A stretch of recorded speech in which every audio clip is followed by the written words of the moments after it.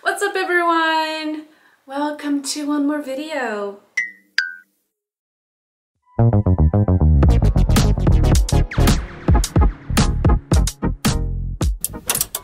Before we start, uh, there are two things I need to talk about because the, uh, they are two very important things. First thing is, as you can read in the title of this video, um, I'm gonna be sharing some ideas of things you can do, or maybe when you don't have any ideas, or maybe where because you don't know where to find them. And I decided to bring those 20 ideas for you to try um, regarding to this uh, style, this this culture. And what I need to say, first of all, I am not gothic obviously. Um, even though I, I, I like to embrace some aesthetics, some parts of the style into my personal style, I am not gothic. I don't listen to gothic music. By the way, I'm going to see Ciência Shikara today.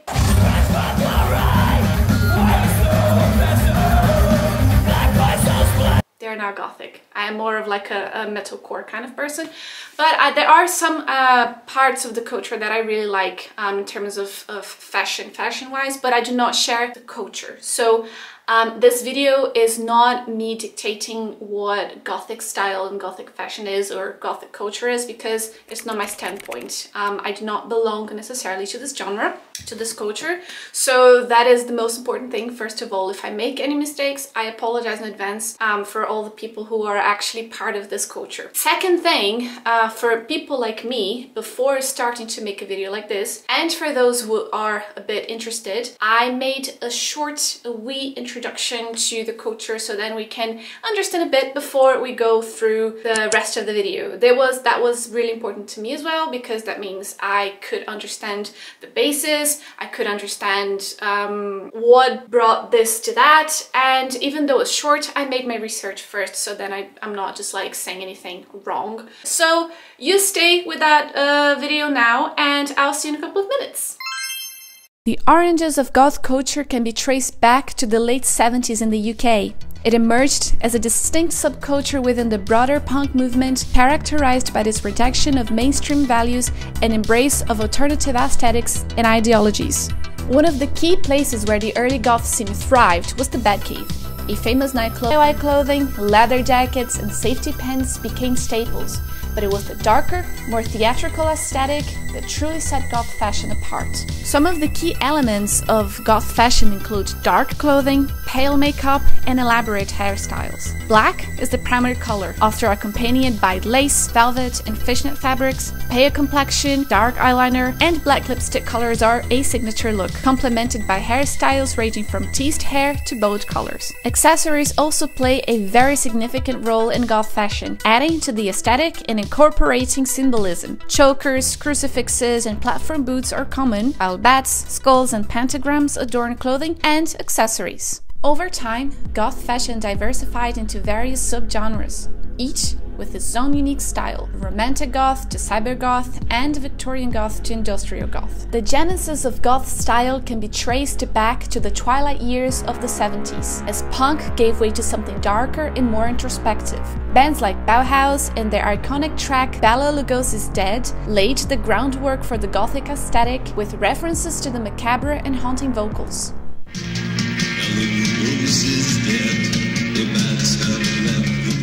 Before goth became a distinct style, pioneers like David Bowie and Joy Division hinted at a darker sensibility. The bad elements like dark femininity and sheer fabrics began to take shape. Goth fashion spread globally, influencing alternative music scenes and underground cultures. Bands like the Sisters of Mercy propelled goth into the mainstream consciousness, with their dark clothing and brooding charisma capturing the imaginations of a generation.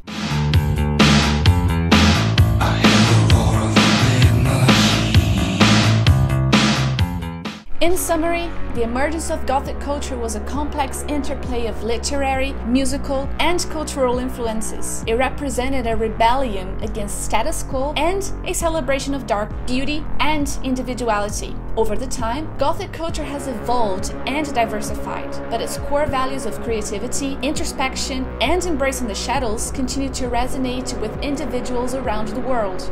And it is important to remember that Gothic fashion is more than just clothing. It is a statement, a lifestyle, and a celebration of the beauty found in darkness. So I separated 20 ideas of things you can try to make yourself. Some of them have patterns, some of them don't have patterns, but I introduced, I brought some patterns related to it that you can do it yourself and come up with the results you want. So it's mostly like an informative video, an educational video that I decided to share with you guys. So I came up with 20 things, 20 ideas. They are um, divided uh, between dresses, accessories, jumpers, things I looked and I was like, this is interesting. Let's start with the first first item of this list. That is this dress. So there are actually tons of ideas that could um, fit here, but the conclusion I came with this whole thing is that like, it does not necessarily mean that it's gothic because of a like jumper or a dress that you're wearing. I think what makes the couture be the couture is everything that is behind it. Lots of accessories, the makeup, the hairstyle, like the music. It is, is a whole thing. It's not just based on a piece of clothing. So yeah, this is the kind of thing that we need to understand. You need to understand before you make something that you have to add things to it. How much can I do with an item? You can do so much with it if you look beyond just a piece of clothing. I think that's the most important thing. So this dress you're seeing there is a spider couture dress by Sandrine Philippe. I think he's uh, French. Uh, technically, I don't know him at all. I've never heard of him before, but honestly, I really enjoyed his designs. As you can see, like he has some crazy stuff. Like it's really nice stuff. The idea here with this dress is that like I did not like bring this dress for you to copy it like exactly. It is just an inspiration. It's just for you to feel inspired by. So with crochet you can recreate this dress by using the distress effect. Just basically like you crochet normally and then you skip some stitches and like you bring the thread within skipping some stitches and then you have this like ripped kind of uh, apocalyptical um,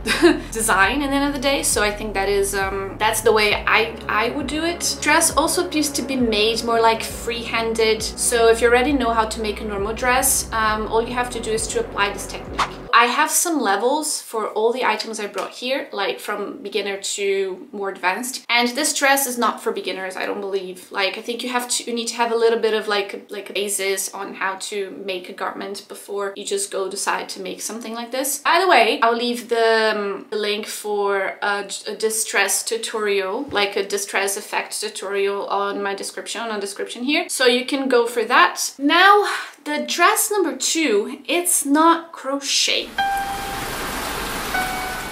But the good thing is like, as, as I notice with crochet more and more every day, is the kind of thing that you can literally do anything you want with crochet. It's such like a versatile like craft. You can always look at something and then turn that into something else. I think this is how I see fashion and this is how I see crochet. And that's that's why I decided to bring some items here that are not necessarily crochet with a pattern and everything because like it is the kind of thing that you can build yourself if you know some techniques of course. But moving to the dress dress. So if you take a look on this dress, you will see that this dress is see-through. So I think it's kind of like a tulle material. Um, and to make a crochet version of this dress, you will need to make like probably with mohair yarn or like an alpaca yarn kind of thing. Uh, alpaca silk. Um, it's basically like, say, like this kind of yarn here. Uh, using like probably a super thick crochet hook or just like by skipping skipping some stitches. Um, for patterns, um, I don't have a pattern for this one, obviously, because because it's not crochet but you can make like the the dress like in separate pieces and then join them together. For example for the bottom part of this dress as you can see is kind of like a ruffle skirt. So you can make like a normal like sleeveless dress with mohair and with mohair again you can create the bottom by using the ruffle skirt crochet pattern. Um, for the sleeves is the exact same thing. Mm, you can always crochet them separately or if you're more advanced you can already make it like the front and back panel already using the ruffle ruffle skirt pattern with it all together. Since I don't have a pattern for this one specifically, um, I separated like a tutorial for a ruffle crochet skirt. There is a pattern for that on the, on the description and a pattern for a long sleeveless, a long sleeve dress. So you can kind of apply whatever you see on those patterns and then make something like this by using bright yarn and just for the shape of it and then putting them all together depending which level you are. That's a good one. The third one follows kind of like the same vibe of the second one, but like this is is mostly like a kind of like a long jumper, like a kind of a long, maybe oversized jumper that you can turn into a dress. I would also use mohair yarn for this one because I think it's like the see-throughness thing is the thing. Um, the only different thing about this uh, item, this dress, is that like on the bottoms, uh, both on the sleeves and the bottom of the dress, you have like kind of like ripped effect. So there are two ways you can do this. So of course you can do the distress thing um, or you can just like crochet that separately like a bunch of thread, a bunch of like something more free-handed and then you can attach it afterwards. But I think if you go with the distress effect thing, you will you will get to that. So for this one, I left a tutorial. Mean, this is just basically like a jumper. That will be a jumper tutorial description somewhere because there are jumpers on this video, but yeah. Now the fourth dress, which it might be a bit controversial because people will be like, Oh, but that's so my dress is like gothic somewhere white. That's not true. So it is called the Moonchild dress and it was made by Crochet Verse. Um, I found it on Ravelry. It's a page pattern, um, but the good thing is like there is a pattern completely, fully, perfectly made for you to try. With this dress, like of course, if you don't like the white color, you can go for a different color. Like go for black, go purple, go for red, dark blue, go for dark gray, dark green. There are plenty of other colors you can use for this dress. Voila. The fifth dress is the kind of thing like, I'm not sure if it's crochet or not. It is made with some sort of thread. I don't know, but it looks like. But the thing is like, why did I do, did I bring this dress here? Because it's something you can make with crochet. So with this dress uh, as an inspiration to create your own like goth based crochet dress. With this one, you can choose your stitch and basically follow along with it. I would use a plain net stitch for this one or a filet crochet. Um, this dress is also like a construction of parts, so you can like make a normal dress like front and back panel but like of course on the bottom you can make like a decrease so then you have like this open uh, arch here which I completely forgot what it's called in English. I, I really apologize. Um, and then on the top you can make separately like a bikini top that that will be part of our list as well so you can already put all of them together. So you can create this base on top and then attach them together with the bottom. And for the sleeves it looks like you could make like a shrug and just attach it afterwards as well so then you would have this dress and I think it's for this dress I would leave pattern for the top and a pattern for the shrug. And the skirt is just a skirt, you know, front and back panel. Go nuts. You might look at this dress and be like, Gabby, like, I'm trying to help. You're not trying to help me. You're not trying to help yourself. What the heck are you doing?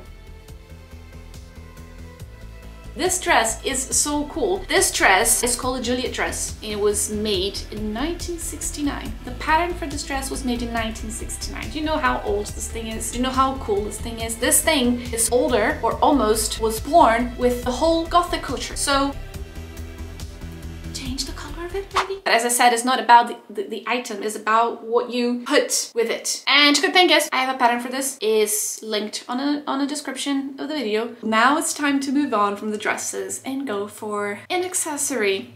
This is the kind of thing that it, I really liked it. It is a crochet bunny ears. It's kind of like a beanie with ears, which is pretty cool. So I found this and I think it's actually a, a great idea to make it like gothic in terms of like how you make it. As you can see, some of those options are already like very good examples. They're already quite like very alternative and things like that. Um, I would make probably like a white one with like the tips being kind of like a blood stain. As you know, I like the blood stain kind of things and my stuff. Fan of those. Um, I would do that on the tips probably, or I like there's also a nice way to just like make like half black and half white and the white also put like some blood stains on the tips. You know, play along with something more like horror. You know, there are tons of ways you can do. There are already some good examples here on this, these pictures. It's a good item. Moving on to the next item now is also kind of like an accessory. Uh, I decided to bring a ribcage corset because I just I just made one recently and it was meant to be used with this top I made. But I made one and I think it's such a cool thing like it is really cool. Um it is really like not rocket science to make one of those. It's per se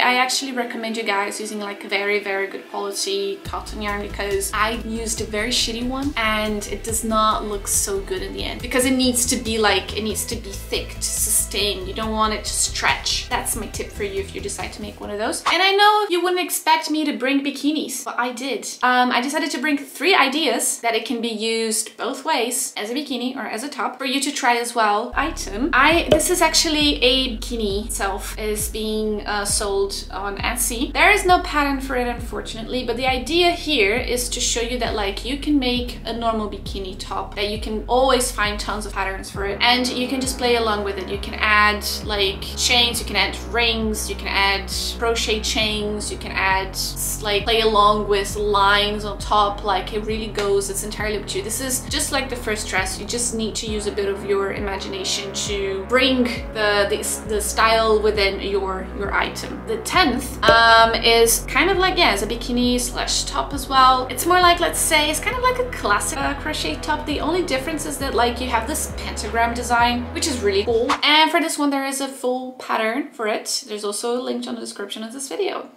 now moving to the 11th item. Um, the last idea is for a bikini, the spider web hanging on the bottom of it, the bra. I'm pretty sure this top is super beginner friendly as far as I'm concerned. So I would give it a go. Pattern is also in the description. Okay, moving on to jumpers now. My favorite Jumper number 12. So the first idea here is to make a normal normal jumper. And when I mean normal, I mean like plain normal crochet jumper. Front and back. Um, and plain sleeves as well. So the trick here is the back. For the back, instead of making a full plain boring black pattern panel, you will add the spider web to it.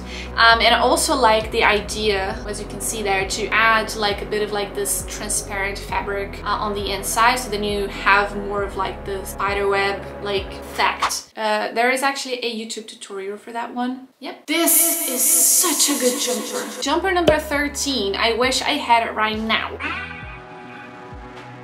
There is no pattern for it because this jumper is literally like a free-handed kind of thing, you know, because you have the distress thing, the stress effect that you add to it. So like it's more like you make a normal jumper and then you make the distress part like go with the flow where you want to have more open, more closed. It is also again, watch the distress tutorial video that I left on the description and yeah. Now moving on to the last jumper, which is this one. I am pretty like obsessed with ribcage and bones and things like that. I am a huge fan of it. Look at this top.